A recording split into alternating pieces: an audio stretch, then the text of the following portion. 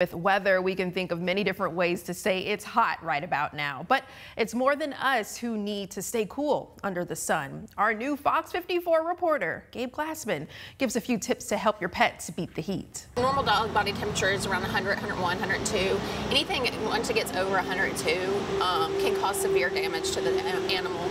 Summer is in full swing and temperatures are rapidly rising. People are looking to cool off themselves, but also their pets. He already likes jumping in the pool on his own, so that's a big plus that the dog parks here have that. Here are some signs if your pet is starting to get too hot.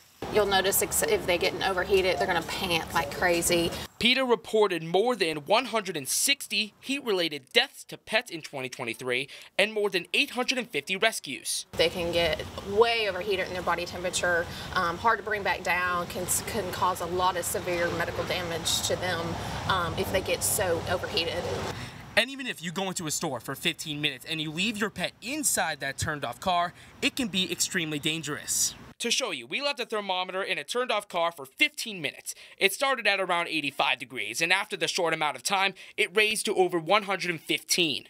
Even if you crack the windows, there's, you know, you might be running in for five minutes, you think, or not, but with this extreme temperature, um, the inside the car is going to probably get up to 150 degrees. You also need to be careful if you're taking your pets on walks during the day.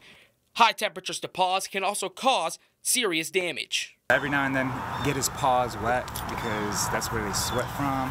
So just get their paws wet with some cool water. And instead of walking on concrete or pavement, maybe staying in a shaded area or walking in the grass, um, like I said, or you know maybe get some little feet covers to go on their feet.